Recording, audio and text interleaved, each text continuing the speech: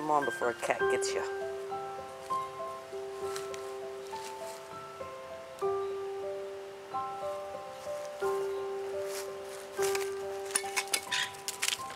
That's a good boy.